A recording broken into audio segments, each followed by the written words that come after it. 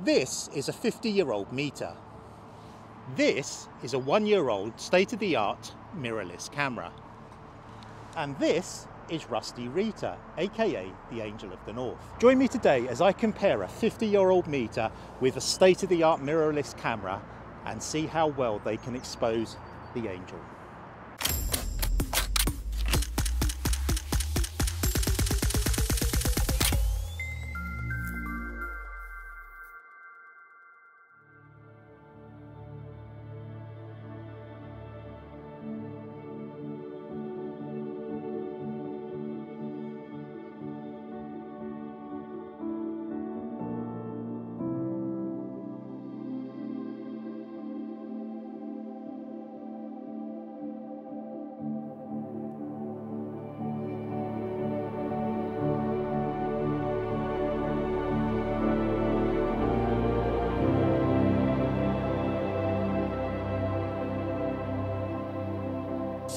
We're going to do today is we're going to take this meter, which uh, I inherited from my uh, late uncle. Uh, he was an avid photographer and he used to use this with his Hasselblad 500C. Um, it's an amazing bit of technology. Um, you would have seen these around in the 1970s into the 80s. People using SLRs in the 80s had built-in uh, metering, but uh, people using medium format would still use a, a proper light meter. Um, wonderful bit of kit. On the outside it looks incredibly complex but it really isn't. If you know your exposure triangle it's uh, it's pretty straightforward. The inner dial here you uh, dial in your ISO or ASA also DIN which is uh, an obscure and obsolete uh, German film rating speed um, and on the outer dials, you've got your shutter speed and your aperture and your EV value. The EV reading you take off of the dial here by pressing this little button here, and then you dial it in here, the EV levels, and then you read off your shutter speed and aperture. It's as simple as that. This camera has four exposure meter modes. It's got a matrix meter mode, it's got a center weighted meter mode, it's got an average meter mode, and it's got a spot meter mode. I'm going to shoot four shots, one in each mode, apply them manually uh, using manual exposure, and then I'm going to read again a reflected light reading using this light meter, and we'll apply those settings to this camera, and then we'll do an incident light reading, which is something that this can't do. Now, an incident light reading is where you actually measure the light falling on the subject rather reflecting from it. And the reason I've actually chosen the angel is because she's a big old dark coloured statue against a bright sky. Now that makes it hard to meter even in the most modern technologies. I want to see how an incident light reading on this 50 year old meter will stack up to my mirrorless camera here. So let's get on with it. I'm going to shoot the first shots on the Fuji, the four shots uh, with each of the exposure modes, and then we'll meter with this and see how we get on.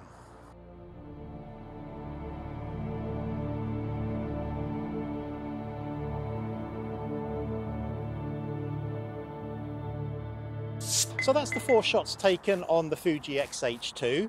Um, we've done matrix, we've done center weighted, we've done spot. I've pointed the spot at the uh, torso of the angel and then we've done average. And I've nailed the exposure in the center of the metered reading for each of those, set to f5.6 and adjusting the, app, uh, adjusting the shutter speed to a suit. Let's now take a reflected light reading with this and apply those settings and see how that comes out. Now the EV reading is actually going to be over 10, so for that uh, reason we're going to leave the baffle on. If the light's quite low and the uh, EV reading is below 10, we actually have to open this little baffle here and allow more light onto the sensor. But in this case, as you can see, it's quite bright behind me, so we don't need the baffle. We'll pop that back on and we'll take the light reading. So the way you do it is you take it uh, sideways like this, you point the sensor at your subject and you press this button on the top here and I'm getting an EV reading of 11. And so what I now do is I dial in 11 on this dial here.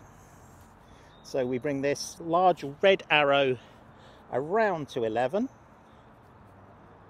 and we simply read off uh, the shutter speed for 5.6 which is 150th of a second um, so basically a third of a stop up from 125th so let's dial that in take that shot and see how it comes out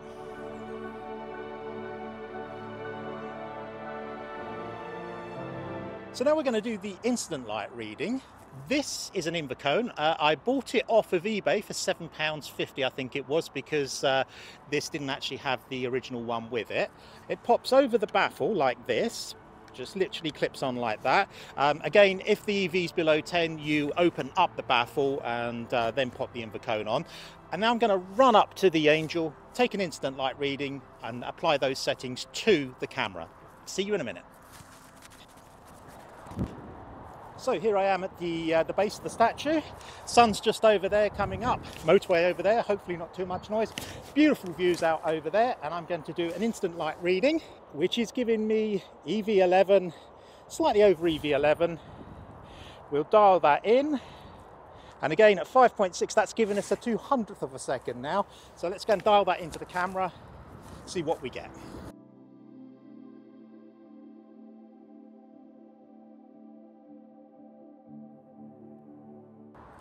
So that's the shots done. Fairly straightforward. Obviously, uh, with modern technology, you can now view things on screens, you can check histograms, you can check clipping. You don't need to use an incident light reading and run up to your subject and do it. You can do it all on a modern mirrorless camera without uh, having to use one of these.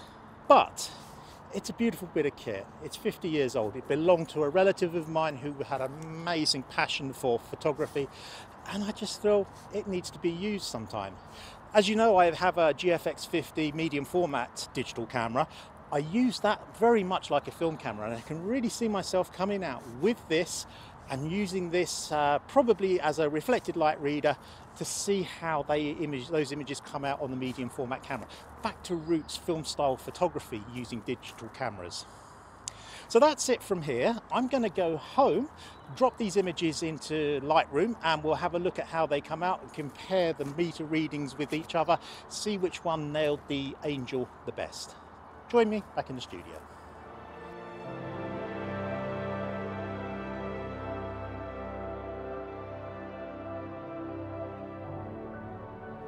So welcome back to the studio. Um, as you can see on the screens here, I have the images in the Lightroom ready to look at. What you might actually see is there's two sets of images and there's a reason for that. I reshot this video. Um, the video that you saw of me at the Angel was the second attempt at it. I reshot it because there were some issues with the sound. The first attempt was actually much better in terms of lighting. Um, it was a very grey day. It had this sort of leaden light grey sky behind the angel, which actually makes it more difficult for the meter to actually get the correct exposure. In the bright sunny sunshine, you've got the relatively deep blue sky and the nice green and the, and the angel. Meters are not quite as fooled by that as they would be by a very bright leaden sky behind it. Um, so I'm going to go through both of those sets of images and we'll have a look at them one by one. What we'll do is just look at them visually and then we'll have a look at the histograms and uh, see how well the exposures have come out. So let's get into it. We'll have a look on Lightroom and see how they look. So here we are in Lightroom. Um, at the top we've got the images taken on the previous day in the less ideal conditions and at the bottom we've got the images taken uh, when I actually shot this video. Um, from left to right, we've got the matrix metering, uh, we've got the center weighted metering, we've got the spot metering, we've got the average metering on the XH2. And then the final two images are the reflected light reading and the incident light reading on the Weston Master 5. So we'll go through these one by one and this is Matrix on the XH2. Very good image, um, slightly underexposed. You've got more to the left than right on the histogram. Absolutely no clipping, plenty of room to work with, uh, really good exposure. Moving to the center weighted, uh, you can see that we are a little bit more underexposed. Um, we're not clipping in the blacks though, so we still have pl plenty of latitude to work with this image, but it is uh, significantly darker than the matrix metering. Moving over to spot metering, you can see there's a big, big difference here. The spot was positioned on the torso of the statue, of the angel, um, which as you can see is already quite dark. Um, and it's done a really good job in holding that dark, rusty still. Um, at the expense of the sky behind, but um, again, looking at the histogram, there's no clipping, everything's still within the histogram, um, and that looks uh, a pretty salvageable image. I'm sure you can pull this sky down very, very easily whilst maintaining plenty of detail in the angel herself. Uh, we'll move over to the next one. This is the average metering. Again, pretty good result. And as you would expect, the histogram is pretty much in the middle and looking very, very good. So we'll go over to the Weston Master 5 now, and this is the reflected light reading. And as you can see, there's hardly any difference between a reflected light reading and the average light reading from the XH2 perhaps to be expected. Um, they're taking an overall reading the whole scene um, of the light reflected onto them and averaging it out uh, in the case of the XH2. So let's go to the incident light reading, which is where I walked up to the statue and measured the light falling on the statue rather than reflected from it. And you can see it's almost identical to the reflected one. I think the reason for this is that the, the lighting is fairly even here and you've got the blue sky, the green and the, the rust coloured steel here. They've all kind of evened out so that the reflected and the incident light reading are pretty much the same. However, if we go over to the more sort of inclement weather conditions and have a look at those, this, I think the opening shot, this is matrix metering and you will see that uh, the the lighting conditions are much more difficult. You've got no definition in the, the statue itself. However, if you look at the uh, histogram, everything is there and you'll still get definition by pulling the shadows up and you'll still be able to bring the sky down. We'll do that at the end of the video um, with this and the Weston version as well. Um, as you can see, zooming in, there is detail in the angel itself. So if we go to the center weighted, um, this is even darker. Again, no clipping. There's still uh, all the detail is still in the image. It's uh, underexposed, but I'm sure if we brought the exposure up and then added the shadows, we'd still get a very, very usable image out of that. Heading over to the spot metering. Uh, the spot metering again from the torso, um, as you can see, much, much brighter. It's trying to get that uh, definition in the still and indeed has done and I'm sure as you can see from the histogram everything's still inside the histogram so this is a very very workable image. And lastly we'll go over to the average metering. Uh, so this is average on the XH2 um, pretty similar to the first two. Uh, you've still got definition in there. You can still pull it back. There's no clipping at all. It's a pretty good result.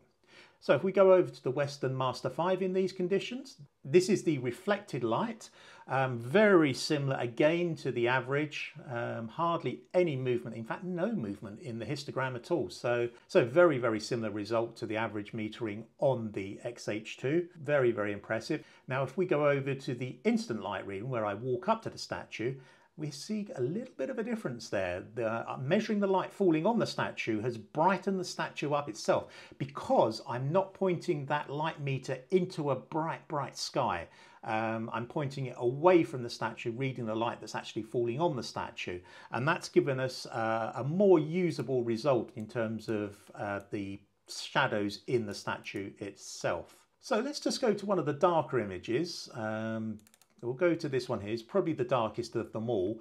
You can see that if I bring the exposure up into the middle, then bring the shadows up, I've got definition in the statue and I can still bring the highlights down as well, a little bit like that. I have actually brought some noise into the image here in the shadow areas. So, so in terms of metering, the one to work from would be the one that's actually got the most definition in the shadows itself, which would be either the spot meter version or the incident light version.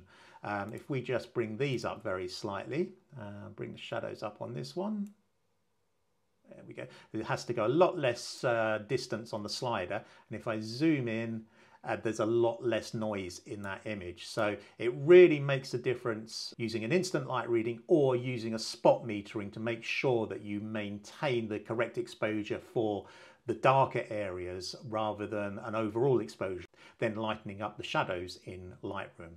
As you can see, as, as I suggested at uh, the beginning here, um, it was actually the, the dark leaden skies that um, made it harder for the Fuji meter and indeed the reflected light reading from the Weston Master 5 to get an accurate reading. On the bright blue sky, sunny day, um, both meters worked really, really well. When we went to the leaden skies, the spot metering on the Fuji worked really well to get the details in the Angel and the incident light reading on the Weston Master 5 also gave us a really nice reading. I think the thing to, to take from this is that This 50 year old meter still works really, really well. It's accurate and its uh, incident light reading gives you a really good uh, reading when you're trying to get a subject um, spot on. And the reflective right, right reading is very good for general scenes where the subject is not backlit what we really need to take into consideration is the cameras these days. Digital cameras have a much wider dynamic range than um, older film-based cameras, particularly if you were shooting on transparency film, um, your latitude there was perhaps half a stop. On these cameras, you can go one and a half, perhaps even two stops over or under and still get a usable image out of this. As you saw from all of those images, not a single one of them metered either by the camera or by the Weston 5 clipped at all, um, which is a very, very good result. So anyway, I hope you've enjoyed this video. Hope it's been informative. If it has, uh, please give me a like and a subscription. If you've got any comments, please let me know in the comments below and I'll try to answer any questions that you might have. Um, thanks for joining me and I'll see you in the next one.